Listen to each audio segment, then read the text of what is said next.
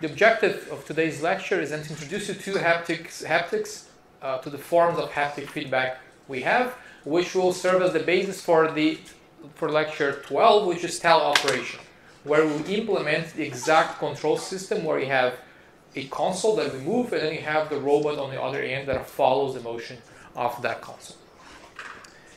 Has anybody heard of haptics? One here. Yeah? So most of you haven't heard of haptics before. So we'll see what types of haptic feedback uh, types of haptic feedback exist. Uh, tactile and force feedback, how do they work, and how we can model a simple haptic device. Let's imagine you're doing uh, training, in surgical training in a virtual reality environment. So what I have here is two haptic devices, two of these joysticks that we use to control a tool in the virtual environment. So you move those tools and then they uh, move accordingly in the simulation. In a surgical console, the simulation will be replaced with the actual robot that would follow your motion. The idea is that you interact with the virtual environment, but these consoles, these, these haptic devices, the idea is that they provide some sort of feedback to emulate the sensation of touching the tissue directly.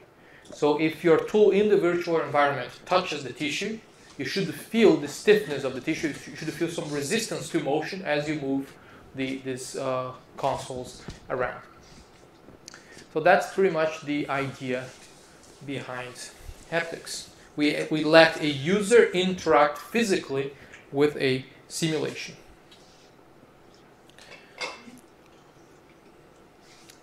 So how, uh, how can we benefit from this? Once again, once you have a robotic system that has two parts, the robot operating on one end and the surgeon operating on the other end, the surgeon is no longer touching the tissue. And they typically use that information to assess, for example, the properties of the tissue to determine how much force they are exerting on the tissue and so on.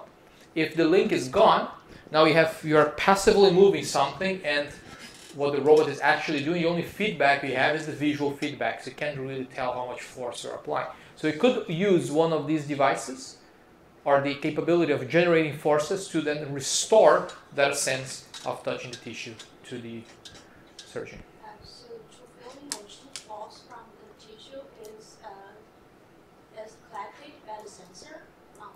So the force on the, the environmental, the, the, the robot environmental uh, uh, environment would be then measured somehow, measured by a force sensor or other sensors. Right? So it determines the force you are exerting, and then the force is translated back to the user on this side here. Uh. So in some case, we can uh, into here to like like they feel more feel more force if we pass through some tissue. Exactly. So you could use this sort of haptic feedback in surgeries with a one-to-one -one force mapping, or let's say you want to do micro manipulation. The robots you have can reach uh, an accuracy of 5 micrometers. Let's say you want to, to, ma to manipulate very small structures. And the force you would perceive if you do that by hand would probably be insignificant. You wouldn't probably wouldn't really feel anything if the forces are too small. But you could put a force sensor and amplify those forces substantially. And you could even have applications where you manipulate individual cells if your system is accurate enough, and you feel the forces of manipulating the cells. That will help uh, guide the robot in that environment.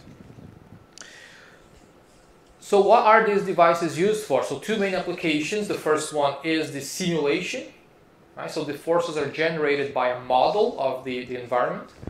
Or for teleoperation, where these forces are no longer modeled, they are measured, and then they are displayed, they are applied to the user as the user controls the robot. So here is one haptic device. This is the same model that is used to control the Canadarm in the International Space Station. We have uh, one of these. We have two of these coming in this year in the lab for, for research. These are, are uh, two, a pair of these is around $300,000. So these are really expensive uh, devices. The ones that, that, you are going to use are around 10K each. They're, they're still expensive, expensive tools, yeah.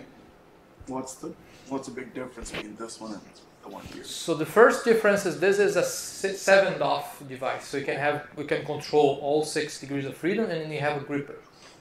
And you can use the gripper to control a surgical tool, for example. Another big difference is that this one has gravity compensation, and what we call transparency of the device is is pretty high, meaning that if the robot is not touching anything, you shouldn't feel any forces, not even the dynamics of the device. Right? So we can emulate that with a device that is uh, programmed to compensate for, for those effects. On the other end, if you if you hit something really hard, like a bone or something, you should also be able to feel those forces being applied here. So the range of impedances this device has to to to cover is, is very wide. Right? That's one of the reasons um, they cost so much. So whenever we interact through this teleoperation system, either on a virtual or physical environment, our sense of touching the environment is gone. And we use the sense of touch for most of these tasks, especially in surgery.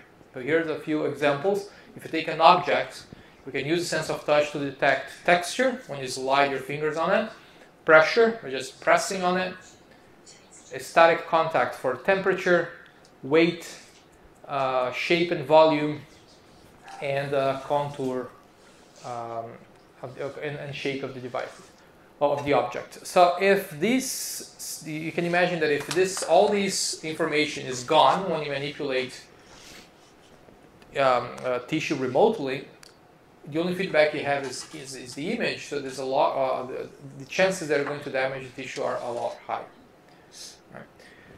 So the, the, the problem exists. The solution is still doesn't. The all the haptic the uh, surgical robotics console in the, in the in available in the market today and the ones that are used in clinics they don't have any form of haptic feedback. So let's start with uh, an, an, application in a virtual environment. So here we have this virtual environment. You guys probably played with virtual reality before. It's quite fun. You manipulate objects and do everything, but you don't feel any objects. Right? You don't feel what you are doing and you can tell that by not feeling anything, your accuracy in doing a certain task is, is a bit random. Right? Because the only feedback you have is the visual feedback. is not very intuitive when you expect, for example, let's say you grab a chair, you would expect that weight, right, that shape to be there. And if it's not, then your visual feedback is the only thing you, you, you have. So the sense of touch in the virtual simulation is gone. It has a pretty good gives you a pretty good motivation to use the haptic devices with haptic feedback to then restore this sense of touch. So here is a professional surgery simulator. That's how surgeons train to, to operate. Who, uh, who has uh, played this before? I kill the patient every single time. Even yeah, yeah. Every time I play with the patients, uh, was bleeding to death, and then nothing could do there. Uh, so this is a would be a fun one to have some some feedback. So you could break the ribs and then feel them breaking apart, right? But they it's not there. So you just hit it, and then whatever uh, comes out of it. Is, who that has never seen this picture before? So this is a game in virtual reality. You all guys, uh, you all play this, right? Yeah, quite quite fun. Right? Yeah, that's uh, game. So this would be quite interesting. Imagine that this, this hammer, this hammer here will be connected to that haptic device. So you now have feel the weight of hitting the patient, not hitting the patient, or operating on the patient, right? Or doing properly and playing the game properly, not just trying to destroy the operating room and kill the patient as fast as you want. So that's the idea. So how do we go about then recreating this sense of touch?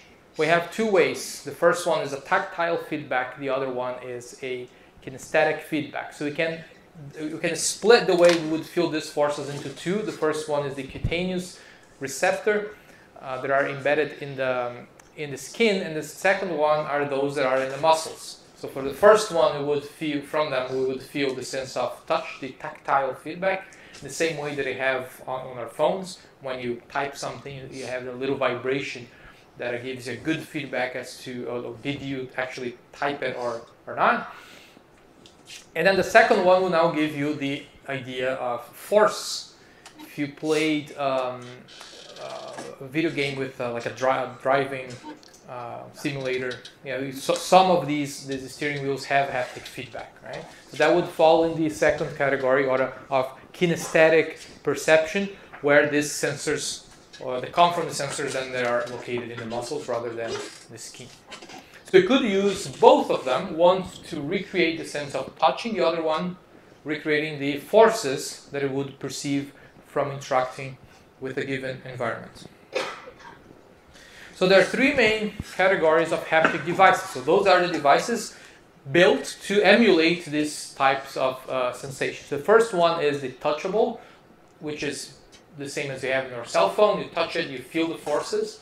You feel, feel you don't feel the forces, you feel some sort of vibration, some sort of feedback. Could also be temperature, could also fall in that category. The second one is a graspable feedback uh, system that you hold and um, and interact with the, with objects in that environment, like in the first one here. And the, this, the middle one is the wearable device. Something, for example, a glove that you put, and then uh, when you touch something in the environment, put it on, and then you feel vibrations or something. Right? Some sort of um, wearable feedback, or let's say uh, some sort of uh, exoskeleton arm that you would wear and then control something like in, a, in the Avatar movie, for example, right? But then you would receive, uh, perceive the, the feedback from uh, the, the robot that you are controlling, right? So these can then emulate temperature, texture, uh, vibration, and force you, during interaction with a virtual environment or also during interaction with a teleoperated or remotely controlled environment. Right? The robot could be uh, in Europe and could be controlling the robot from here, provided that there is uh, the, the, delay, communication delay is small enough. So let's go over these categories. The first one is the um, touchable haptic devices. For example, in a cell phone, you, when you type, you get some sort of feedback to confirm your action, and that is quite handy. Once you have it, it's hard to go back and imagine doing the same thing without that little little vibration. So how does that work? Well, there are different forms. This is the, the engine that is used in the iPhones, but it, it's, there are many versions of it, but the principle is the same. There is a mass, and the mass vibrates. Right? The mass vibrates at a, a resonates at a frequency and vibrates. There are also piezoelectric actuators that will do the same in a smaller package. But here is the idea. The, the, this is a motor with a mass that is not is rotating on an axis that is not centered, right? So as it rotates, then it creates that little vibration. Here we have a mass inside with coils, and then they just go up and down. So these things here you can buy them for like a few dollars each. And then um, those who play video games probably uh, know what I'm talking about, right? When it comes to uh, the newer versions of video games. Okay. So pretty easy to understand. So one thing that um, uh, we could do with those, and there's some research, is to emulate texture with these vibrations. Because what is the perception of texture if not simply putting your hand on something and perceiving the vibrations that you create by sliding your hand on those at a given frequency. So if you can detect that frequency and you can detect the position of the finger, perhaps as you slide your finger on a virtual surf, uh, surface, you could potentially feel the texture of whatever you're trying to emulate under it. Right? If you can control control it properly. The main limitation of doing this with tablets today or with an iPhone is that it has only one actuator, and when it vibrates, the whole thing vibrates. Right? But there is new, there is now new technology and research that is able to concentrate the vibration on your fingertip only even if you have multiple fingers on the screen, uh, is able we can concentrate these vibrations from different actuators using like propagation of waves and uh, um, interference of waves so that it will only vibrate one finger at a time. So you can imagine this, uh, for example, in what is shown here, you're buying clothing online and then you want to feel the texture. Don't know how, uh, how good the feedback would be, but it will give you a, an indication The second one is the uh, still in, the, in, this category is the touchable haptic devices. This was a capstone design project from last year. The idea was that when you interact with a simulation, especially when you want to have, have a scalpel there trying to cut through a tissue, you have no feedback at all. Right? So the only way to have feedback if would be, for example, to get a big haptic device from the beginning there is quite expensive, make that control the scalpel. But now, now you're holding that whole structure just to control this little thing, and you are attached to a fixed frame. So what you're trying to solve here was, um, what if we just create a tool that will give you the, that is handheld and that will give you some similar sort of feedback.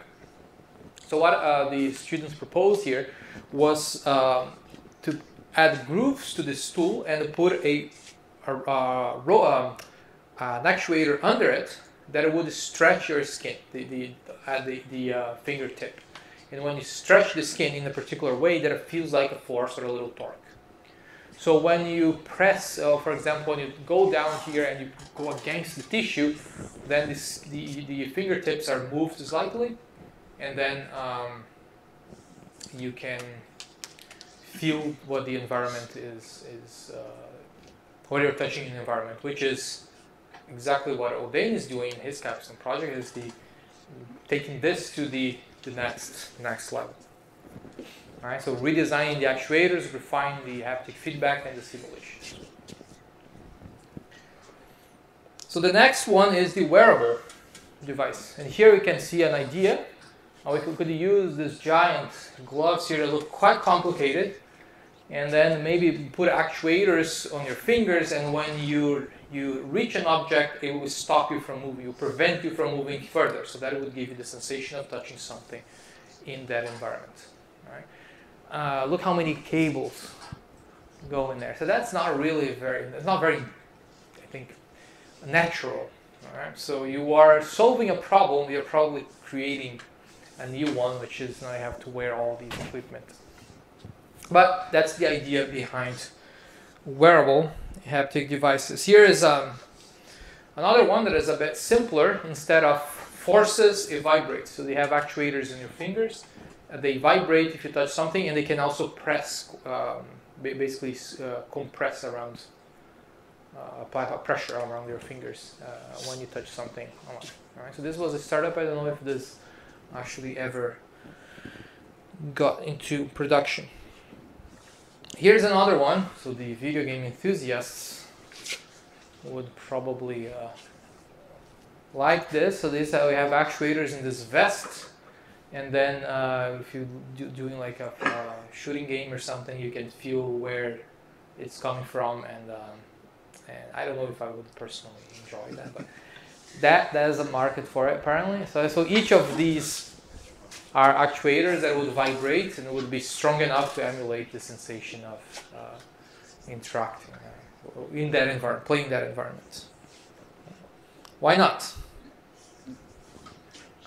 And then this, the third category is the kinesthetic haptic devices, and that's the one that we would be most interested in, because that's the one you can use for uh, emulating forces during simulation uh, in surgical training or during teleoperated surgery. Here is one example. This is a device that we have in the lab and it's used for um, percutaneous nephrolithotomy training. Remember that procedure we saw in the, one of the past lectures? It's the same idea here.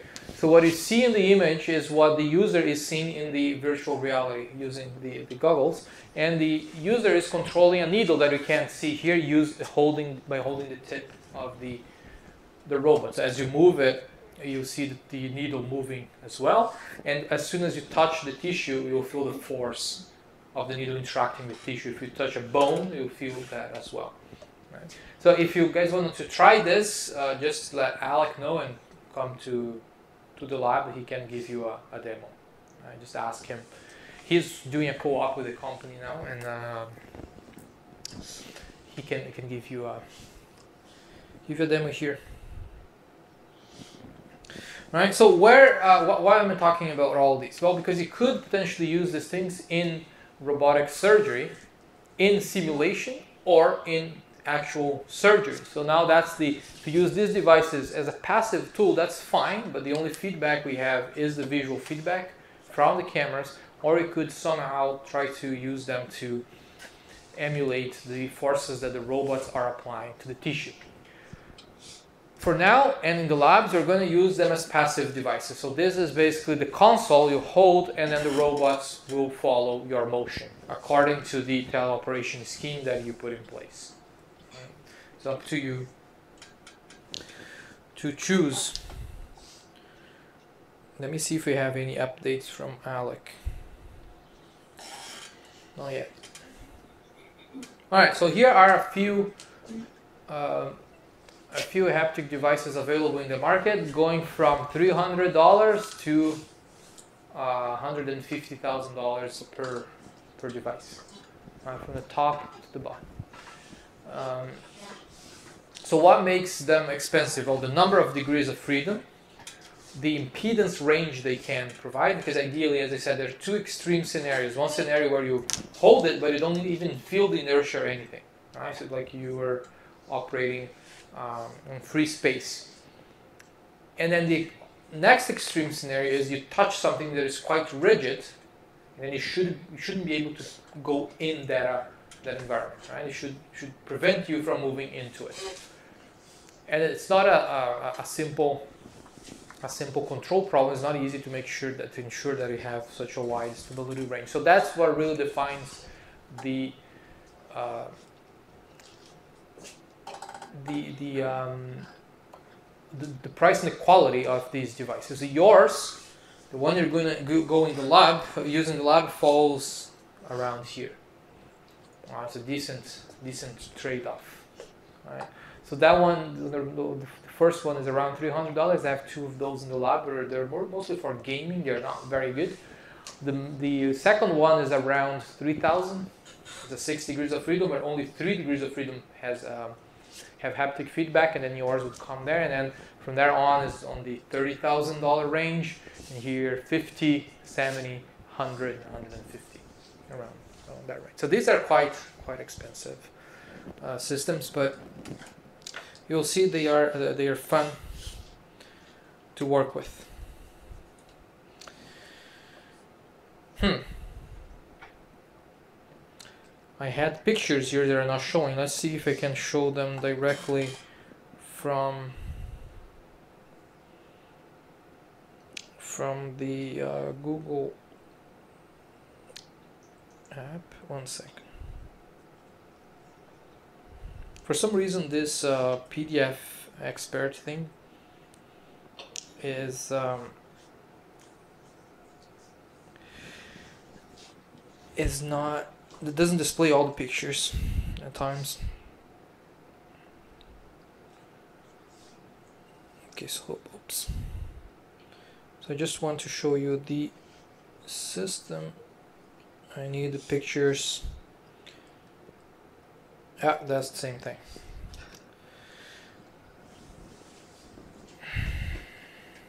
That makes my, my, my picture quite useless.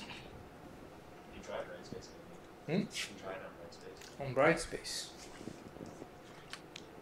Can I download it? Maybe I'll try to.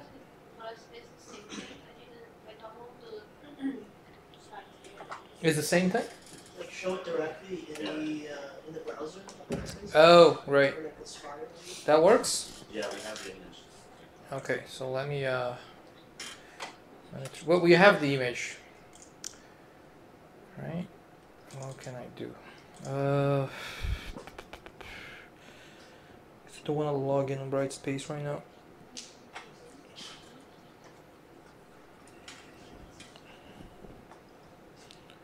What here can be used for this?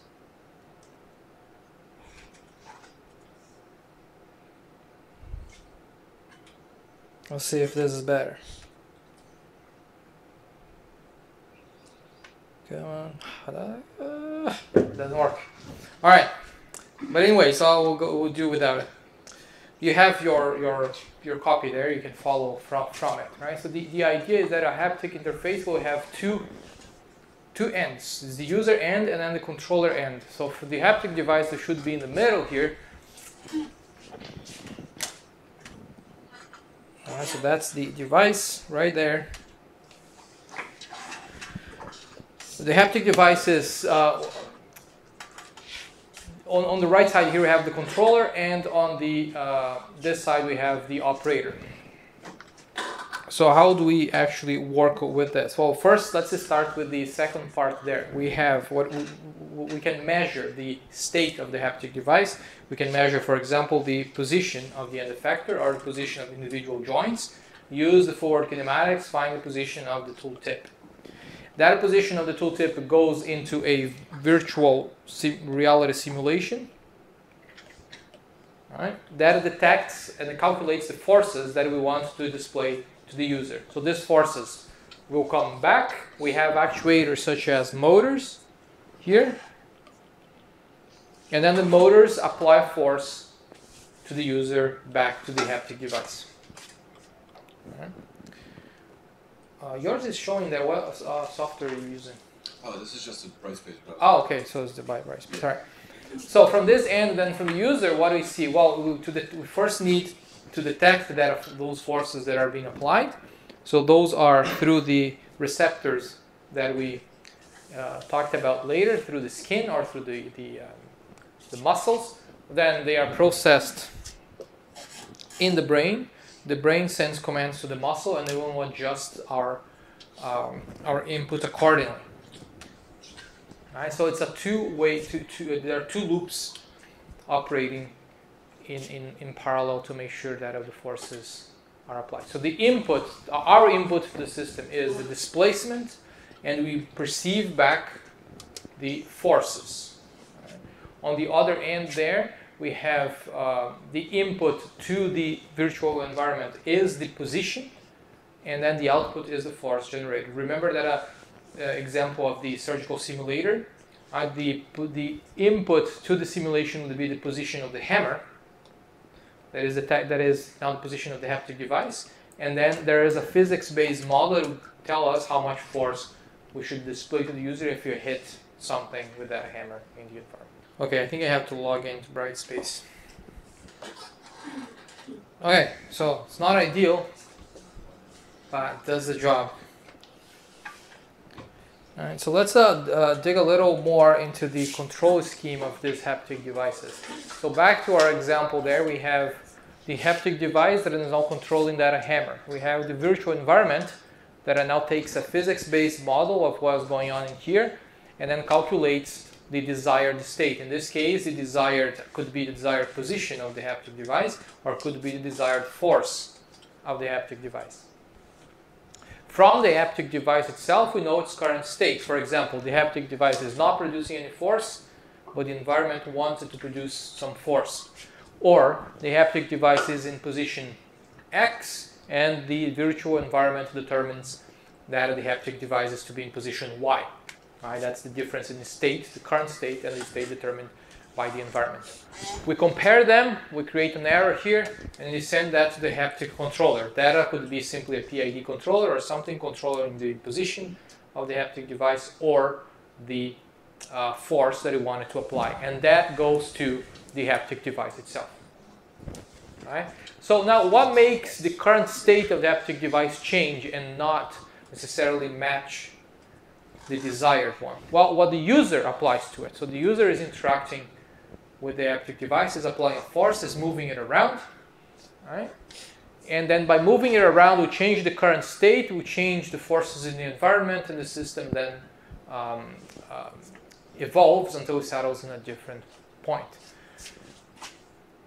How do we get feedback from all this? Well, we have feedback from the forces we get, but also the visual feedback that go to the brain, and then from there we uh, determine the motion commands we want to, to, to give to the device. Right? So that's a, um, you see here a lot of different feedback loops. As you remember from 36, 3610 and 3600. But it's essentially a position or force control when it comes to the, the, the, the uh, the haptic device and the magnitude of that force or position and it's coming from the virtual environment. So we have two types of these haptic devices. The first one is what we call the impedance-based control haptic devices. They take in a position and they apply a force. We give the position of the hammer, for example, and then the position of the hammer, uh, let's say, is, is inside a bone, which shouldn't be. Now, what's the, the, uh, the environment going to tell you? Going to tell you they have to apply a force to take it out of it, right? Because physically it shouldn't be in that part of the environment. So a force comes back and a force is applied to the, um, the user. Imagine just touching something, right? You, you apply a displacement, you get a force back. That's how the, the haptic device is controlled. The, but it could do the other way around. We could apply a force instead of a displacement and then apply a position back. Apply a position doesn't mean anything, but controlling the position, perhaps that's a better term. Uh, the haptic device will try to control its position. So instead of a impedance, we now look at the admittance of the environment, which is simply the opposite of the impedance.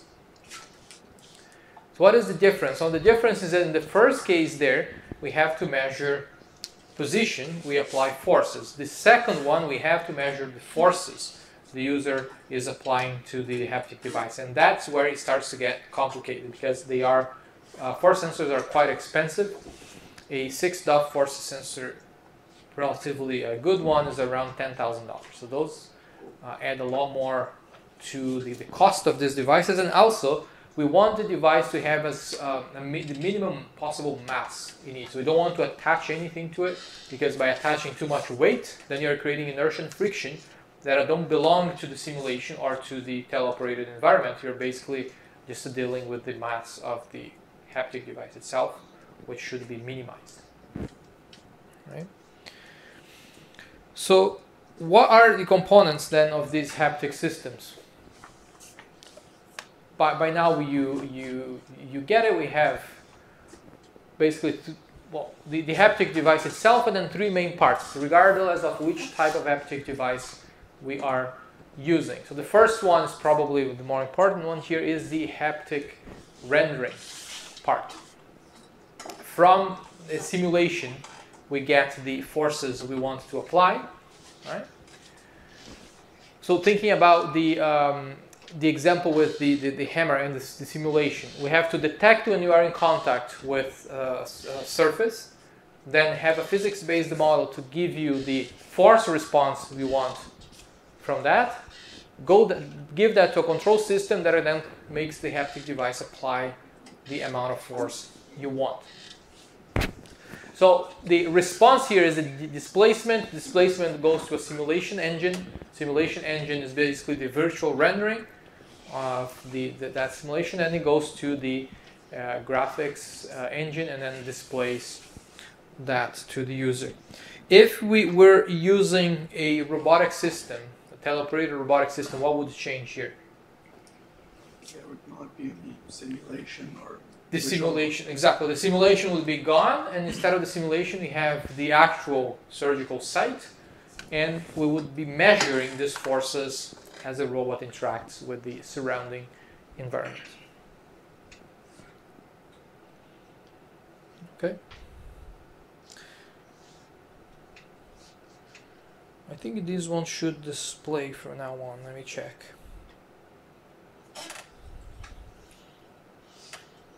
Yeah, this is all messed up. That's really unfortunate.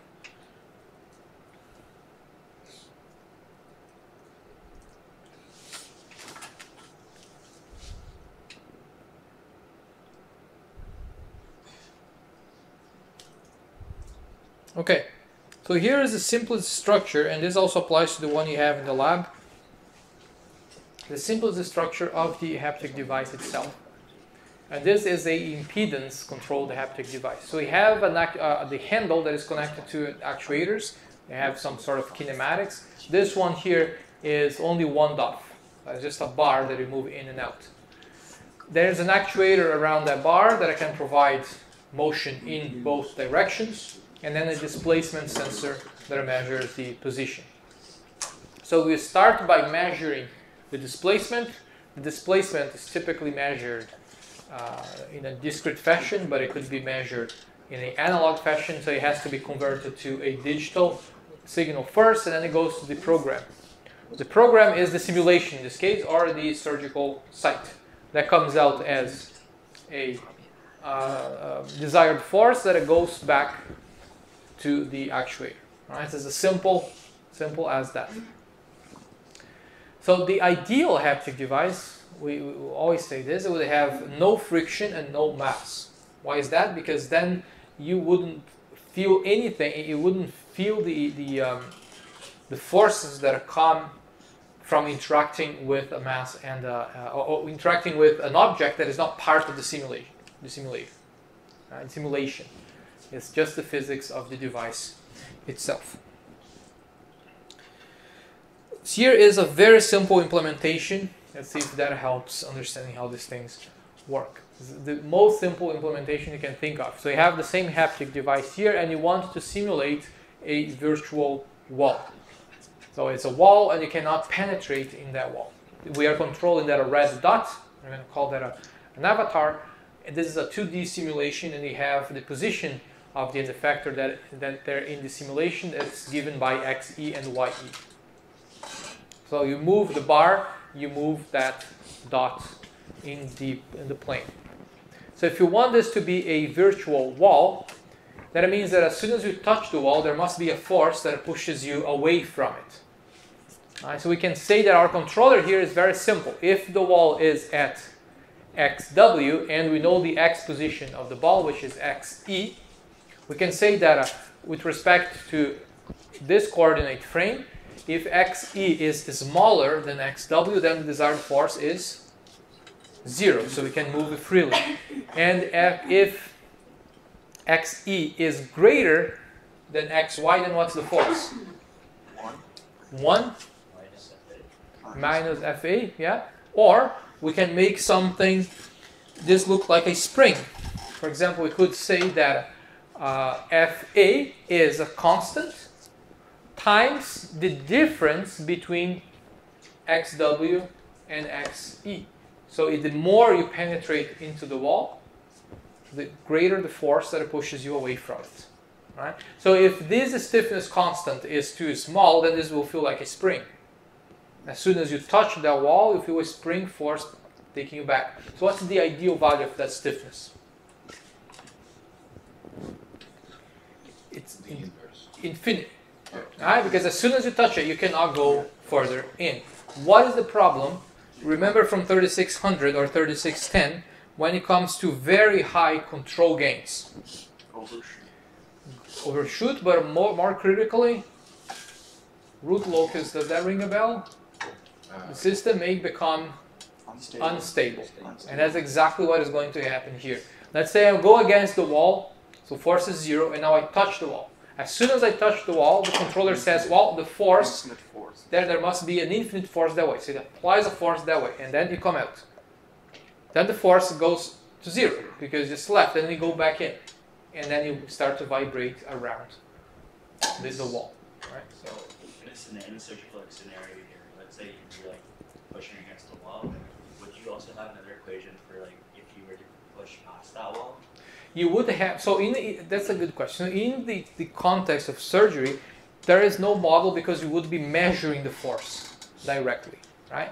But we could add an extra layer. Let's say I want the robot to operate within this small cube. If the operator makes the robot go beyond that, then there is a virtual fixture, we call that, that it will not let the robot get out. It will constrain the robot inside. So that way, yes, then we would we would need to specify the value of that. But that could add, add a, a additional guidance that it will make sure that the robot only operates within a certain region. And anything that goes beyond that will make the robot come back in. Alright? Alright, so there is this problem of instability then. If, if the gain is too high, the system will vibrate and oscillate around that point. So what it could do to make this a bit easier, you remember the effect of damping and the stability of closed loop control system? Damping has a stabilizing effect because it creates exponentials, right, that dissipate energy. Does that ring a bell from 3610 or should you, yeah? We can take it again if that doesn't. no, or 3600. Alright, so the energy dissipation in the form of exponential components will um, have, a stabilizing effect in the system. So what it could do, so I didn't have my, uh, my stylus to write before, but this is what I was going to write. The stiffness constant times the penetration in the wall. Right? And K is a constant that we can, we can, uh, we can choose. We can add another variable here that is proportional now to the speed. And that will help stabilize the system when it goes. In the wall, this works pretty much like a PD controller, isn't it?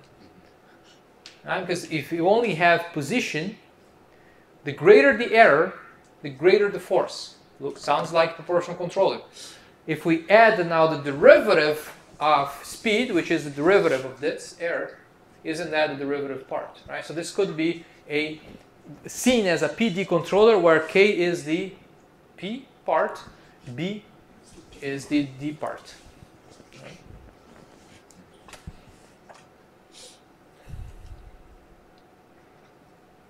Okay, so Alec sent me a message saying, I don't think this is going to work, so it's probably not coming. Um, but uh, he can show that to you in the lab.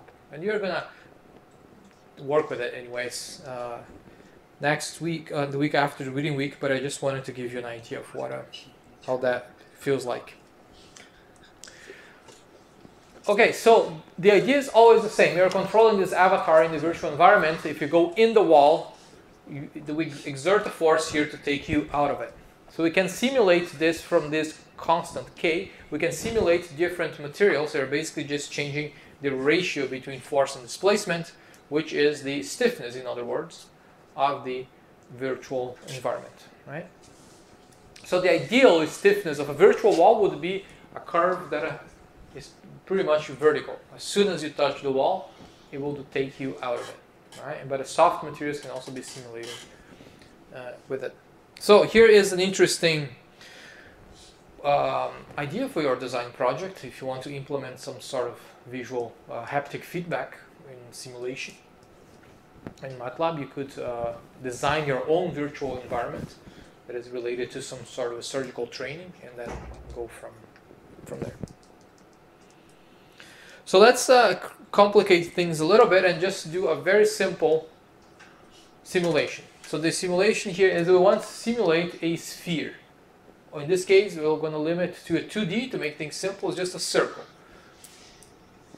So we want the simulation to always keep the, the um, end effector either inside or outside of that circle. We want to create forces that will keep you inside or outside of that. So we measure the position of the haptic device, that gives the position of the end effector. Depending on where the end effector is, we determine the force, and then the force is applied to the device. So what's the utility of that in the context of robotic surgery? The constraint. Right? You want the surgeon, for example, to operate only within that circle or only outside of that circle if that circle represents a sensitive structure, for example and just operate around it. And as soon as you approach that circle, the robot will be moved away from it and then you don't damage those sensitive structures. So let's uh, make a few assumptions. And this is a circle here, but it could be any form, right? Let's make a few, a few assumptions. The circle is positioned at point O in this X and Y frame. It has a radius of R. So the circle has coordinates X, O, and Y, O, and the end here has coordinates xp and yp in the vector p. How do we determine if the end effector is inside or outside of the circle?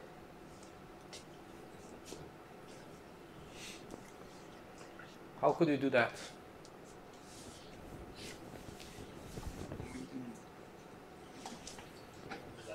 Hmm?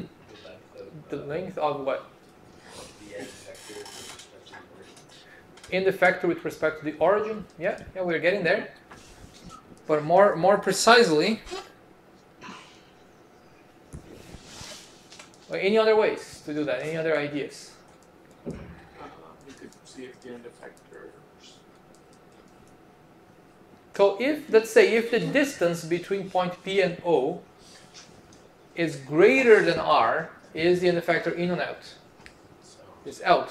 Eh, if the distance between P and O, the Euclidean distance between P and O is smaller than R, then P is in the circle. How do you calculate that Euclidean distance?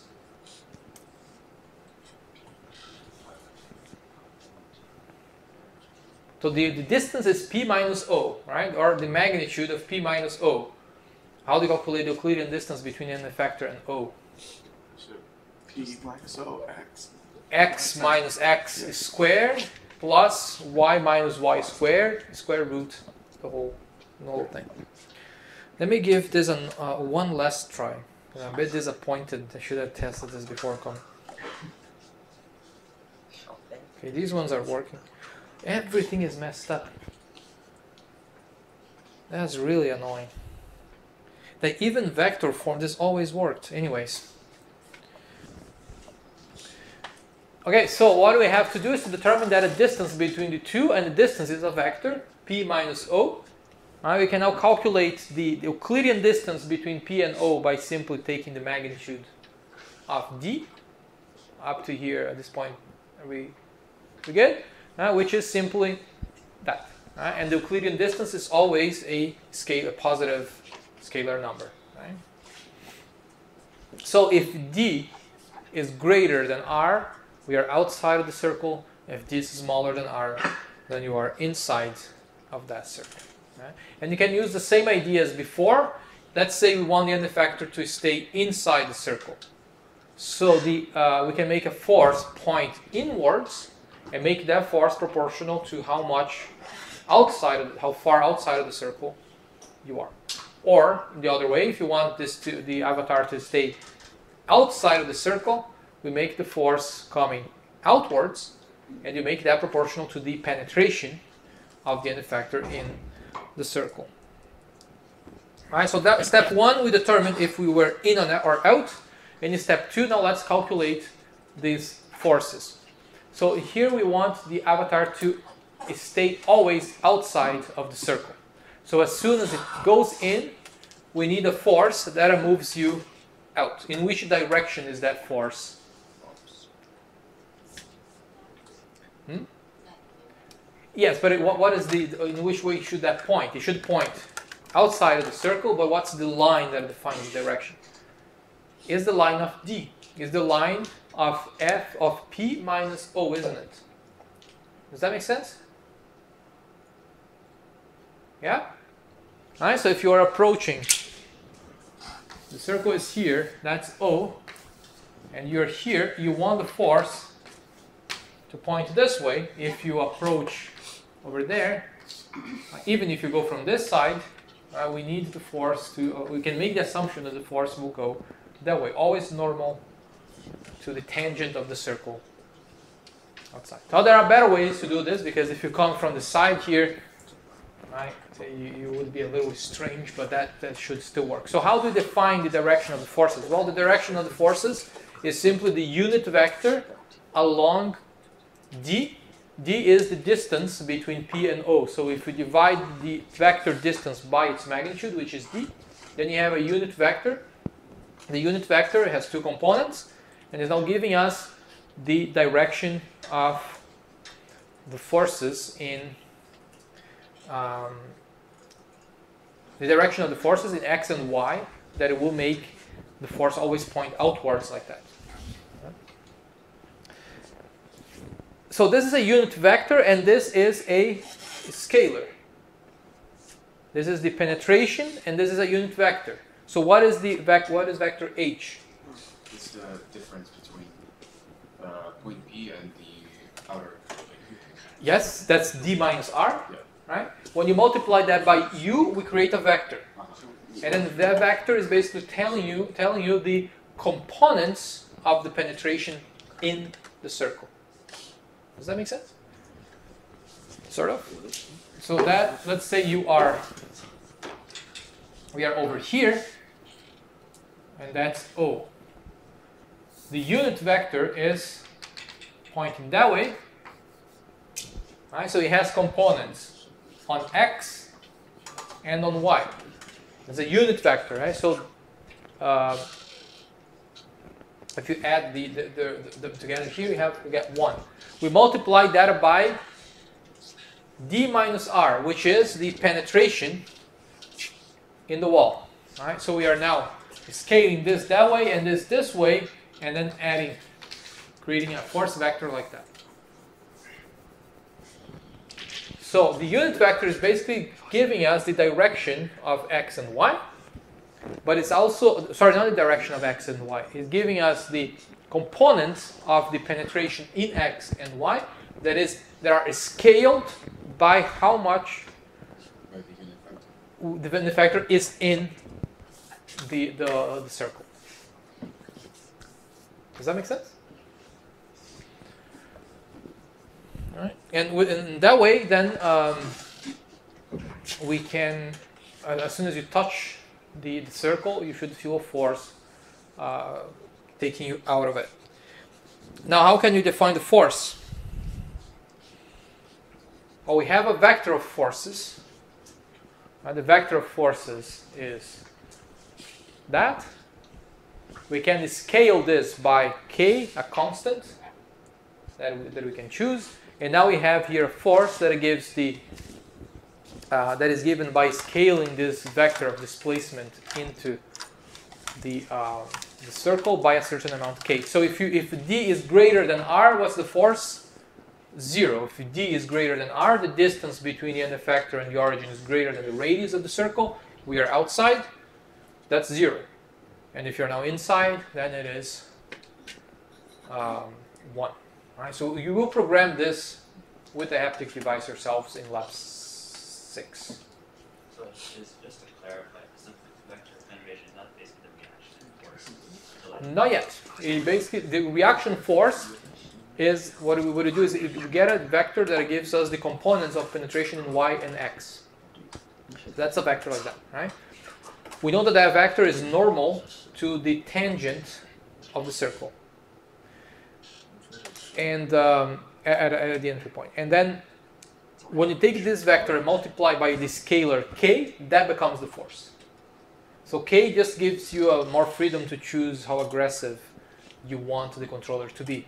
Right? So if K is too small, then you probably go all the way in the middle of the circle until you feel something. But if K is very high, then as soon as you enter the circle, you have a force pushing you out.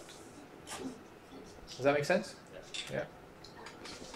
Yeah. So for this one, because um, we have the h, which will be some value, and we by like multiply by the k, which is scalar. So how could we keep the zero and go begin hk? Because you're, I mean, like if d r bigger than zero, so there should be some value there. And how it could be zero? This one? Yes. Because if D is greater than R, then the end effector is outside of the circle. And we oh, want I- no I- uh, force. I understand that. Yeah. Just, I mean, the calculation, how, how could you, like, if you do, There is no calculation, we are assigning it to be zero. oh, okay, Because we are saying if you are outside of the circle, you should move freely. so it's uh, like the constraint, right? Yes. Yeah. Okay. And then K becomes the stiffness constant that we can choose. All right, so when it comes to your labs, what are you going to be doing? We have this device here. You saw this in the first lab briefly. I already have a 2DOF device, and this 2DOF device uh, has this uh, closed kinematic chain. So our uh, DH parameters would have to be revised a little bit to use with these, but we will give you the forward and inverse kinematics of this device. I don't have to worry about that. It'll be given to you. The way it works is have three DOF, so two here, and then one at the base we can pivot around. So you end up with three degrees of freedom, which will pose an interesting technical challenge because the robot has six degrees of freedom. So now, how do you go from a three DOF to a six DOF problem? Right? You'll deal with that in lab eight. Though this week's lab, some of you already worked with the constraint point in space. Right? So that's another another way. We are basically telling the robot to take care of orientation, while I take care of position, using the haptic device to control the tip of the robot at a given orientation so that it passes through a certain point in space, for example. So we can decouple the six DOF problem into two 3D problems. One, uh, the position can be controlled by this, and then the orientation is controlled uh, by the robot itself, the way you program. Yeah. So when it's decoupled, the haptics only control the first three joints. Up, no, not the three joints. It controls the 3D Cartesian position of the tooltip. So let's say, um, for example, uh, I want this is the point I want to go to, but there's a constraint here saying I want to pass through that point. So what you do is that you go through that that point, and then from now on you can move inside this space so long as you pass through that point, right? So the position of my hand is given by this. So you can move it around, and then my hand will just follow.